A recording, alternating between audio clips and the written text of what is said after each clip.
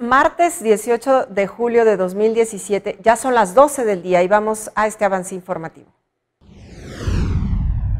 Cultivos como maíz, avena, trigo y frijol registran un avanzado proceso de maduración gracias a las lluvias de los últimos días, así lo afirmó el secretario de Fomento Agropecuario, José Luis Ramírez Conde.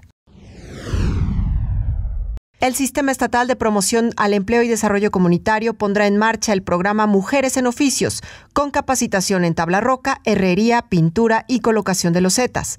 La meta de atención es de mil mujeres. Los cursos se impartirán en las sedes de las nueve unidades de capacitación distribuidas en el Estado. La CONAFOR abre su convocatoria para el Concurso Nacional de Dibujo Infantil 2017 Vamos a pintar un árbol, con dos categorías de 6 a 8 años y de 9 a 12. Los pequeños interesados en participar pueden empezar a mandar sus trabajos a la dependencia federal en Tlaxcala. A unos días de presentarse en el Campeonato Nacional de Tercera Fuerza, tenis mesistas tlaxcaltecas tuvieron su último evento de fogueo ante Puebla con una participación de 34 elementos.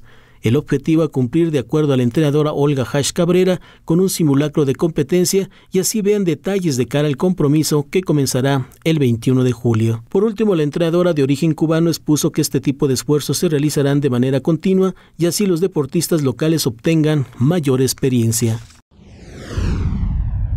En información nacional, el ex gobernador de Tamaulipas, Thomas Yarrington, insistió hoy en su inocencia y dijo ser un perseguido político durante una audiencia ante la Corte de Apelación de Florencia que decidió posponer hasta el 21 de septiembre su audiencia de extradición a México y Estados Unidos.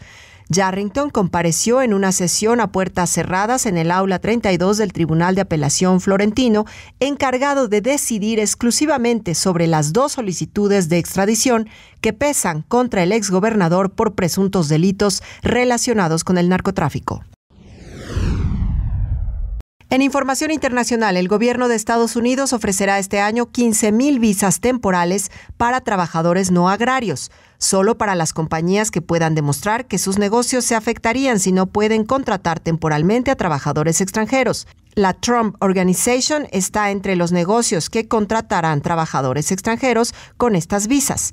Este año el Congreso aprobó permitir al secretario de Seguridad Nacional, John Kelly, ofrecer más visas que el límite anual de 66 mil. Agradecemos que nos haya acompañado. Lo esperamos a las 14 horas con más información, la segunda emisión de Ahora Noticias. Hasta entonces.